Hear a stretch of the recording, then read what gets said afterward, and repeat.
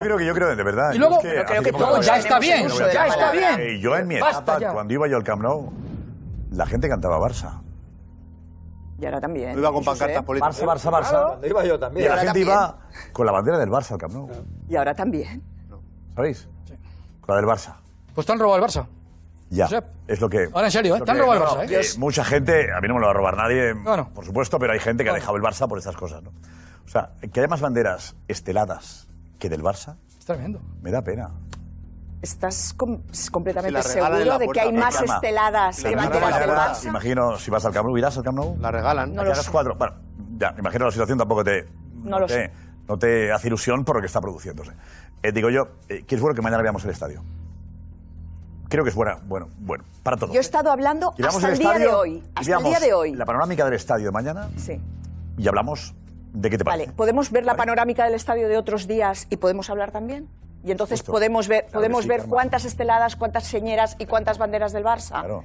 No hay, no hay da, más esteladas. eh, me da Josep, pena yo sí que voy al campo. que la bandera del Barça no sea la bandera que lleven los socios que van al campo, los aficionados que van al campo. ¿Qué pinta una estelada en el Camp Nou? Pero si van muchos con la camiseta del. Barça. Ya- Y la llevan puesta la camiseta del Barça, que es como una bandera que ya lleva uno mismo Pero encima. si hemos visto el es una programa la mayoría, regalan en de la verdad. puerta. Eh, Sí, yo regalan entiendo, mi punto de vista es ese, es distinto al tuyo. Yo creo que tengo amigos que míos que, veo. han dejado el Barça porque el Barça no es suyo ya. Porque es de unos cuantos que se lo han quedado.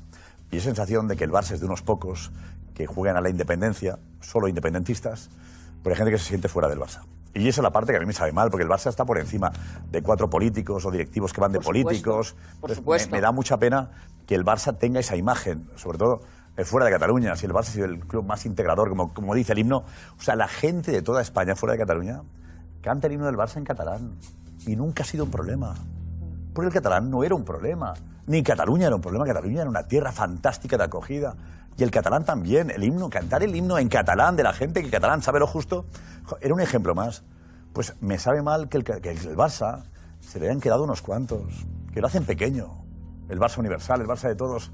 Me da pena que estemos hablando de pelotas, de que el Barça es un lugar en el que hay que manifestarse.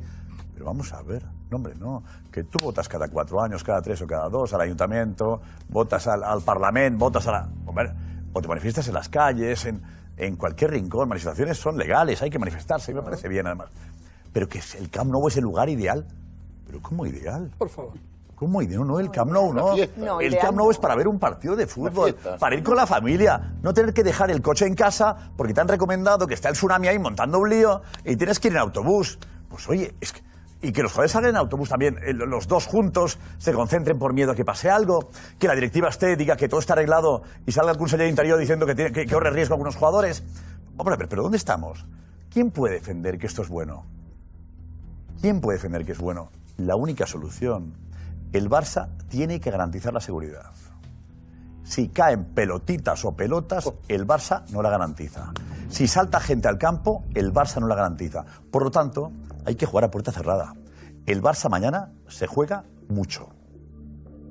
Hay un antes y un después en la directiva del Barça. Si se cuela gente al campo, si saltan, Bartomeu debería dimitir al día siguiente. Porque ha garantizado la seguridad. El portavoz ha salido diciendo que hay mucho alarmismo y que está todo controlado. Si saltan al campo mañana o hay pelotitas, Bartomeu tiene que dimitir mañana mismo por la noche. No se puede permitir. Alfredo, perdón. Lo grave para mí.